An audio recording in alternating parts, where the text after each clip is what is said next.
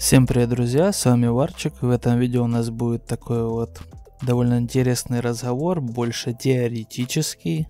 Подкину я вам пищи для размышления, чтобы вы подумали и решили, если вы играете в картошечку, что это такое, как в это играть, на что обращать внимание, как бесплатно побеждать и действительно ли картошка является несправедливой к некоторым игрокам или все в равных условиях. Итак, давайте начнем с самого начала. Нам известно, что в игре есть ВБР.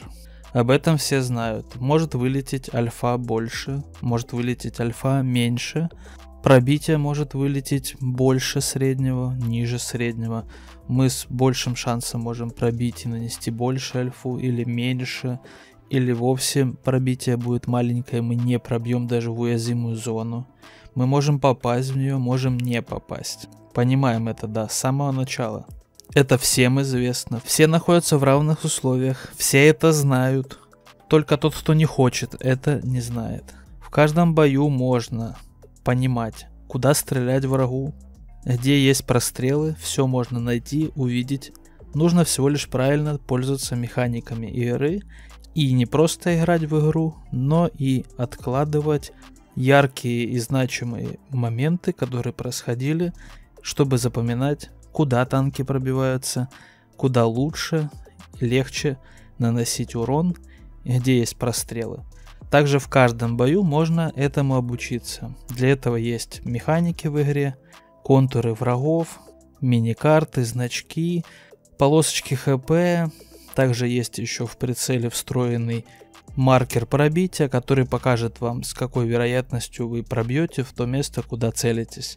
То есть даже если вы не знаете, прямо во время боя вы можете научиться увидеть и понять.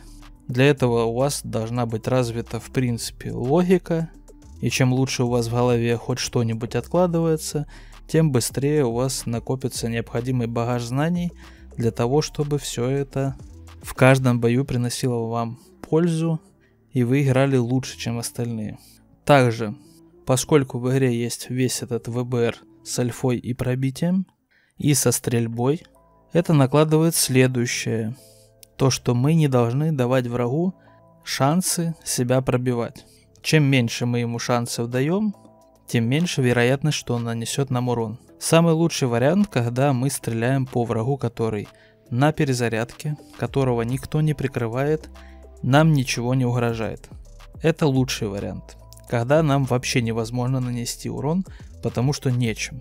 Так играют чаще всего танки поддержки, поскольку им легко нанести урон, у них нет возможности танковать. Также есть еще вариант сражаться с врагами таким образом, чтобы танковать той частью, которая не пробивается или пробивается крайне редко. Мы выкручиваем ромбик и танкуем бортом, либо играем от башни, которая крепкая и на ней нет уязвимых зон, или есть лючок, который тяжело попасть. Также мы еще двигаемся по этому рельефу, когда играем от башни, чтобы было сложнее в нее попасть.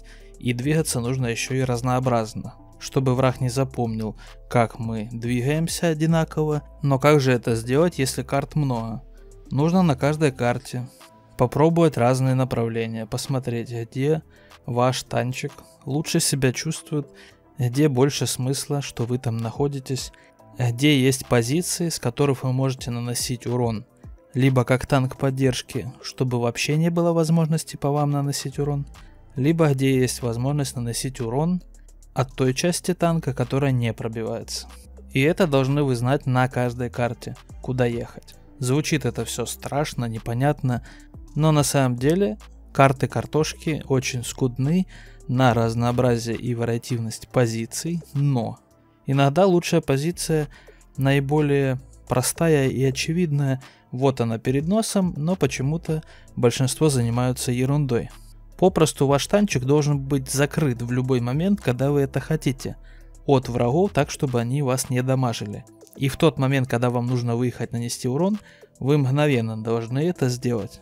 Таким образом вы отбрасываете всю эту ВБРную чепуху, которая летит в ваш танчик, и даете возможность своему танку как можно чаще стрелять бесплатно, ведь у вашего танка тоже есть ВБР. Получается, что вам нужно стрелять по врагам и какая-то часть выстрела ваша залетит с уроном. Даже если вы будете стрелять правильно, неправильно, неважно, все равно не все снаряды залетят с уроном.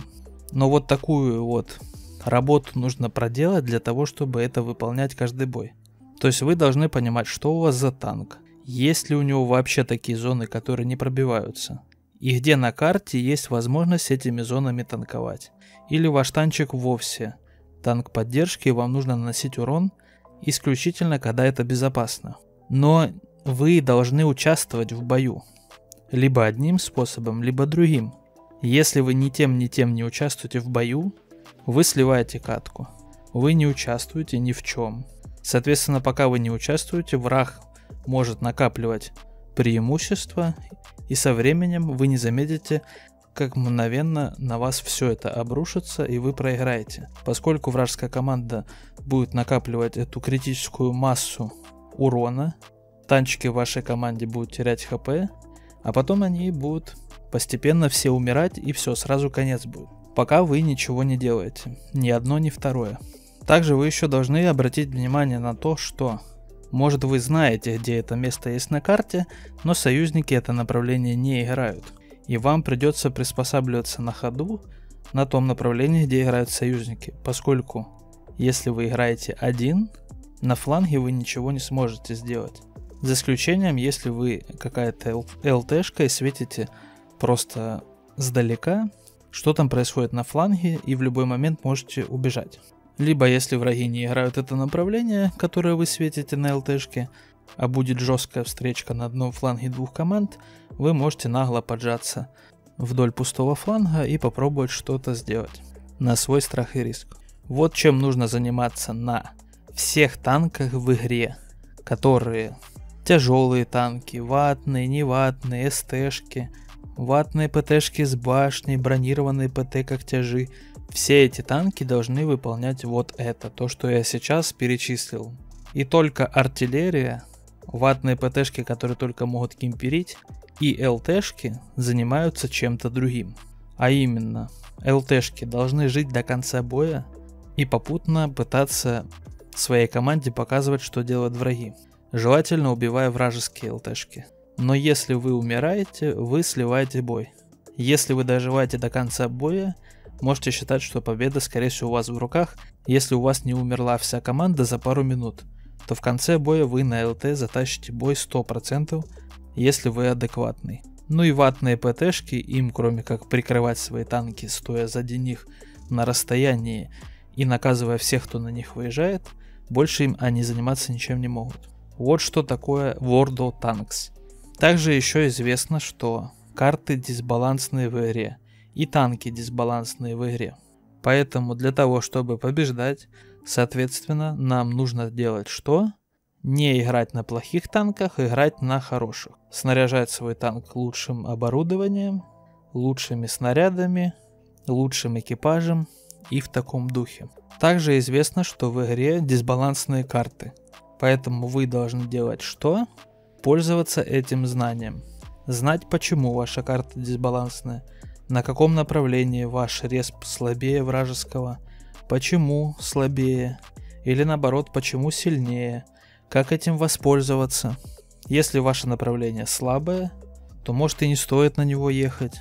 А еще и желательно союзников оттуда забрать, поехать на сильное направление и его выиграть, а потом уже разыгрывать конец боя. Есть карты, на которых определенная команда практически всегда проигрывает.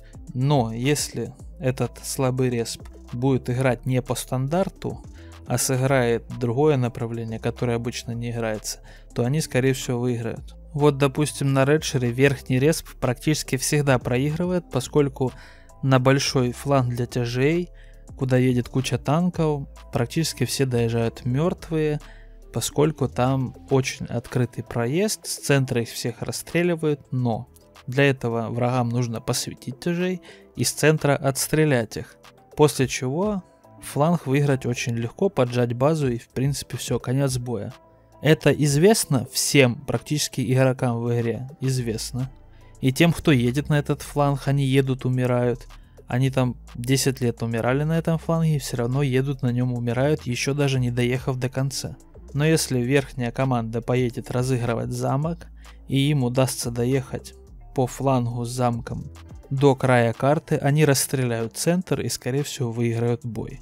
Но такое происходит редко. И таких нюансов на каждой карте очень много. Их желательно знать для того, чтобы пользоваться себе во благо. Также еще, поскольку балансировщик в картошке сделан из неприятного материала коричневого цвета, можно пользоваться некоторыми хитростями для того, чтобы бесплатно выигрывать и иметь высокий процент побед. Но опять же, для этого нужно это знать, понимать, пользоваться, и все равно придется проявлять скилл в бою, чтобы побеждать. Приведу вам пример, как при помощи корявого балансировщика получать бесплатные победы. Берем взвод из бронированных ПТшек 28 вариант 4, допустим, или похожее что-то на них. И в тех боях, когда напротив вас в ушах команды вы видите загружаются ватные ПТшки, они будут стоять в кустах, а вы поедете на фланг для тяжей. И на фланге для тяжей вы сделаете критический перевес по броне, по огневой мощи, по хп, и будет у вас больше шансов продавить фланг для тяжей. После того, как вы выиграли направление, можете поджимать ватные ПТ, им никто не светит, они уже вблизи ничего не могут. Вот вам бесплатные победы, но чтобы таким приемом побеждать, все равно что-то да нужно делать. 100% побед вы не получите. Также, на мой взгляд, если вы будете хорошо играть на ЛТ, выживать до конца боя и стараться помогать своей команде на протяжении всего боя и особенно в конце, тоже можно иметь хороший процент побед, но большинство ЛТшек слабые, поэтому тоже нужно найти имбу для себя, и вы будете получать высочайший процент побед, поскольку сейчас в рандоме скилл ЛТ водом равен нулю. Они все умирают на первой минуте. Практически всегда. И вы будете каждый бой единственным адекватным ЛТ водом, если научитесь, и приводить бои к победам. Это все известно? Известно. Кто это не знает? Только тот, кто не хочет и не разбирался. Этим можно пользоваться для того, чтобы побеждать. Остается только один нераскрытый вопрос. Интересно ли такое игрокам? Интересно ли им пытаться побеждать со слабых респов? Интересно ли им настреливать урон в стрельбе, где скилл это просто не получать вражеские выстрелы и давать вовремя свои, и где балансировщик можно поломать. Интересно ли в такое играть? Раз люди играют, видимо, интересно, либо они мазохисты. Также еще скажу про статистику, она всего лишь отображает то, насколько хорошо вы подстроились под условия игры. Все правила игры прописаны, мы этими правилами сами пользуемся так, как хотим. И если мы неправильно под это все подстроились, у нас хуже статистика. Если правильно все это используем себе во благо, у нас статистика выше. И чем лучше мы пользуемся механиками игры и лучше под нее подстроились, тем статистика будет у нас значительно выше. Вот такая вот игра World of Tanks. Можете считать, что я вас с ней познакомил и теоретически рассказал о том, как в это играть и на что в основном обращать внимание. Как пользоваться этой информацией, решайте сами. Можете использовать ее себе во благо, для того, чтобы лучше играть. Можете воспользоваться для того, чтобы перестать в это играть. Можете воспользоваться этой информацией для того, чтобы начать с ней спорить. Но спорить с этим бессмысленно, потому что так и есть на самом деле. С правдой спорить смысла нет. С вами был Варчик, играйте красиво, всем пока.